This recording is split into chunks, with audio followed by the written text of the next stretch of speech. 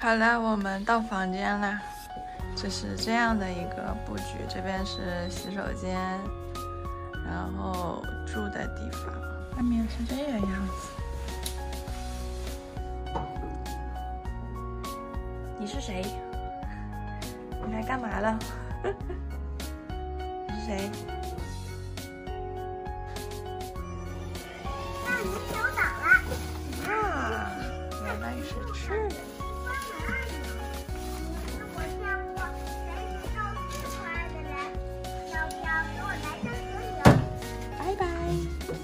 Hello，大家好，我们刚才从酒店出来，然后现在来到了总统府。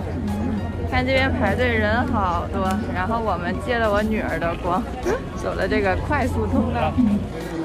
我们现在就进来了啊！大家可以看到，这上面都是总统呃的壁画，这边也有。我们又来到了这个，他们应该是他们以前开会的这个礼堂。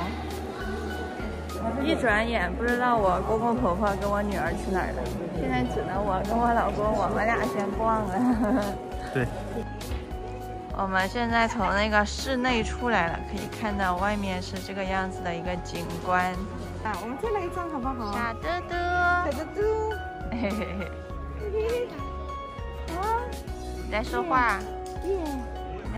阳光明媚的下午，然后看好多这种游客啊，都在这边度周末。这不就是老百姓的生活吗？这个是会客室，有几个蜡像还原了历史人物。然后我们从那个刚才的走廊过来，就是这个政府的一个办公楼，叫子超楼。这就是当时的一个建筑风格。这个是文书局，这是负责编撰稿子的人员用的地方。这个呢也是一个会客厅，这个就是老大的一个办公室啊，位置广角都特别好。这个办公楼的后面就是这个园子，叫旭园，也是很大哦，风景很好。这个是他们的一个车库，是这种门的哦，很好玩。哇，这里居然有一个防空洞，我来看一下。就是这里啊，这个连窗户都是钢的。这个就是一个大办公室的一个照片，实际上就是这个样子的。这就是这个大办公室的一个布局。我们逛完总统府，又来到了夫子庙这边，看到了这个南京必吃的牛肉锅贴。我们的这个牛肉锅贴上来了，尝一下。一开始不知道，以为这个是干的，其实里面汁水还特别多。我们这个鸭血粉丝汤也上来了，尝一下有什么不一样？跟上海的有什么区别吗？更鲜一点，感觉。哦，嗯，不过上海的也不错，这里也也还可以。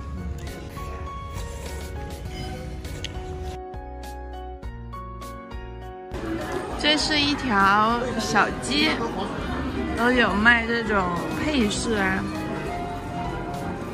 这是糖吗？吃的。那边是耳环，这是猪肉脯和牛牛肉干。这边也是糖葫芦，还有一个棉花糖。偶遇两个同仁，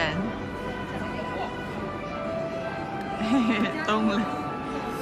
紫气升腾，以为王气，于是凿方山，断长垄为毒，以泄王气。从此便有了秦淮河。就秦淮河。秦淮河全长一百一十公里，又有内秦淮和外秦淮之分。外秦淮河是护城河，我们今天游览的是内秦淮河，全长十华里，又有十里秦淮、十里珠帘的美誉。在此，我们预祝各位游客朋友能在这里度过一段美妙的旅程。第一层由于战乱而毁坏，现在我们看到的是中层和下层。可用于安置守城的将士和储藏物资。最下面一层可做调节内勤。